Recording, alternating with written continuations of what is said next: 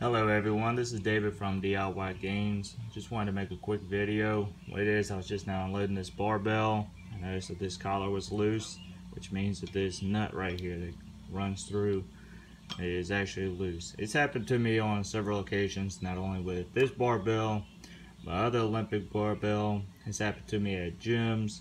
Um, now stereotypically, they'll maintain that kind of maintenance at a gym, but if you're working out at home, something you need to be aware of for this particular body uh, barbell and just use an Allen wrench to tighten it up.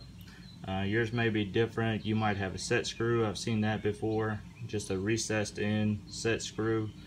Um, but it, whichever the case, just be aware of it. You don't want to have barbell either separating on you, breaking, cracking, or anything of that nature.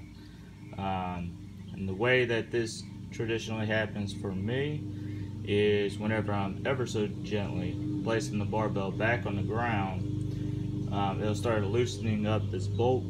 So every so often I just have to tighten it back up. Um, but anyway, thank you for watching. Please like, share, and subscribe.